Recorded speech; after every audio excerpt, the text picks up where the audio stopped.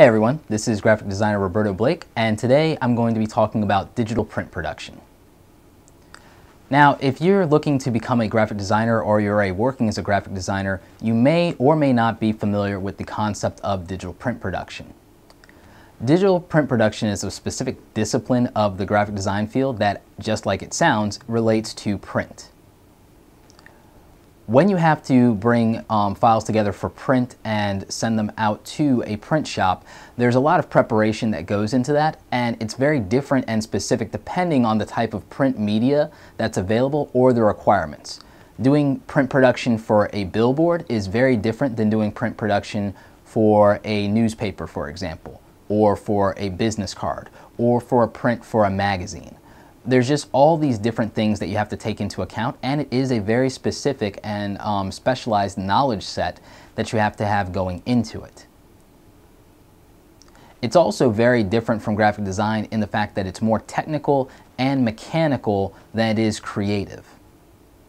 Not all graphic designers are uh, print production artists, even if they are print designers. A lot of times a graphic designer's work will go to what's called an in-house production team when they're working for a client or a studio um, or in different various types of industries, and that team of people will be responsible for translating the creative work that was done into the appropriate and necessary formats and file reproductions to go out to print, um, to be resized, etc. Print designers have to work with things called uh, mechanicals or um, the long version of that, which is mechanical specifications. And what these are, are a specific set of instructions that include things like the actual dimensions of the final file, the DPI, which refers to the dots per inch or quote unquote the print quality. Um, sometimes it'll be things like ink density restrictions, which has to do with how much actual ink is being used by the printing press and what its limitations are, which actually goes back to affecting the amount of um, colors and saturation in the original creative work. So again, it's extremely technical and it's more involved than actually doing the design and the creative process and it's more than layout. A lot of people think that digital print production just means, oh, well, you're a print designer, you do layout and you do typography. It actually has very little to do with that. Um, but it does involve making sure that things like the colors are set appropriately. Print is CMYK, and you can't just go into Photoshop and convert a file to CMYK and that be the end of it in most cases. You have to adjust things like the tonal values and saturation because things that are on a digital screen are additive. They have backlight. White is being used and it's being filled in, whereas print is subtractive. You're actually removing white from the actual paper medium instead of adding to it. So it's very different. Um, and those are things that you really have to consider. Screen resolutions are usually 72 dpi or ppi. Uh, with Retina, they're considerably more. Traditionally, print is um, 150, 300, or 600, depending on the type of print medium. Um, things like newspaper are sometimes between 120 and 150 dpi, and they'll have what's called um, an ink color density, which means that the combined amount of um, ink on the paper can't exceed a certain threshold which means that out of the four colors that you have in CMYK, which are cyan, magenta, yellow, and process black as the key, can't add up in total past a certain value. So that means that any um, color combinations that you make have to have those limitations and restrictions in mind. And that's just one specific thing about um, digital print production, and that's usually specific to um, newspapers and magazines. You usually don't deal with um, ink color density um, limitations outside of that medium, but you can end up with that specification. So it's something you have to keep in mind, and it's something most graphic designers don't even know about.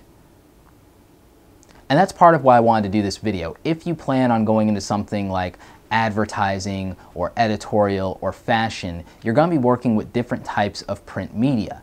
And in working with those different types of print media, you really have to have a grasp not only of very basic general things like packaging files in InDesign and Quark and doing layout and doing typography. You have to really understand what the technical requirements are and understand what the um, digital print process is really all about. And if you don't have a background in that or it wasn't covered extensively in your schooling or if you forewent a graphic design education, um, it can be really challenging and you can end up creating files that people can't use or that have problems and that can cost sometimes extra hundreds or thousands of dollars um, if mistakes are made. So you really can't afford not to understand this if you plan on going into an industry that really is very print centric.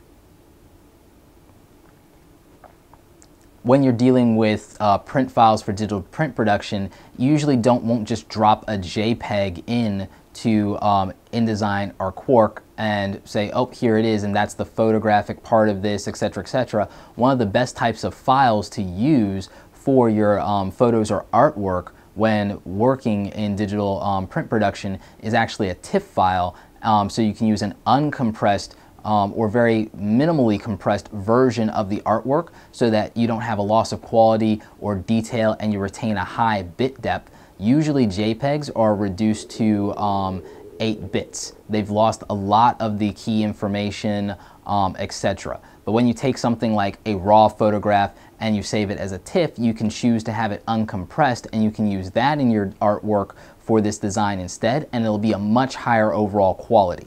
Also, TIFFs are easier to um, manipulate and translate in terms of the CMYK color workflow.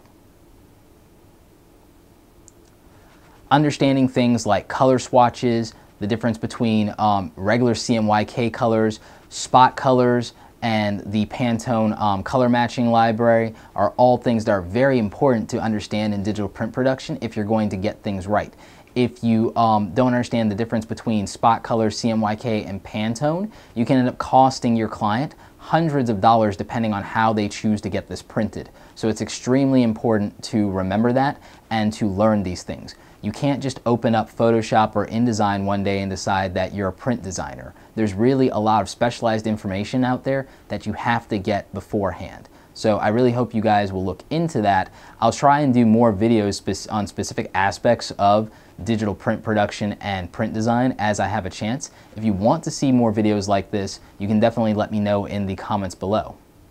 Anyway, that's it for this video. Like the video if you like it. Don't forget to subscribe, and I'll see you guys on the next video. Thanks for watching.